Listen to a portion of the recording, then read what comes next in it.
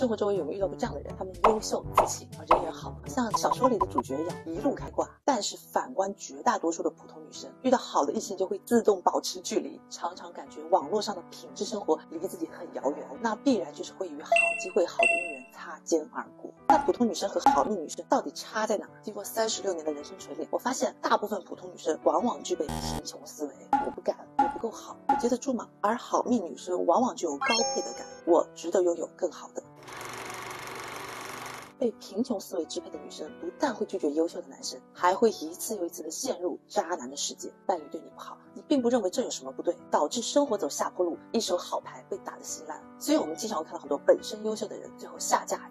连富豪三星公主李富珍都会下嫁给不思进取的保安，最后婚姻失败，事业受限。低配得感的人又格外的在意他人评价，害怕别人对自己不认可，甚至背后讨论自己，所以常常在与人相处的时候唯唯诺诺，不自觉的对他人示好，通过牺牲自己的需求和快乐去满足他人。更可怕的是，会不自觉的进行自我攻击，在一件事情发展不如意的时候，会先否定自己，觉得自己搞砸了，一定是我哪里没做好才搞砸的。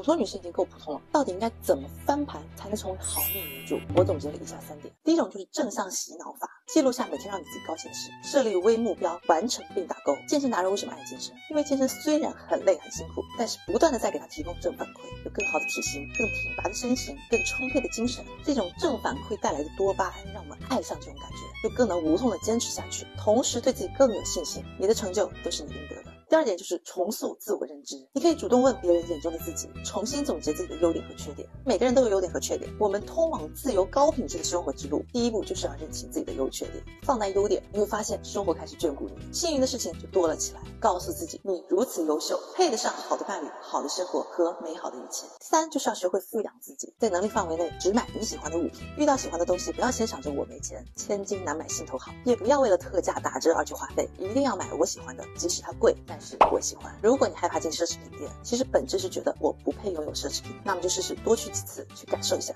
厉害！当低配感被战胜，你会发现美好的事情接踵而来。我们追求的更高的事业、更好的生活、更好的伴侣，都会一一实现。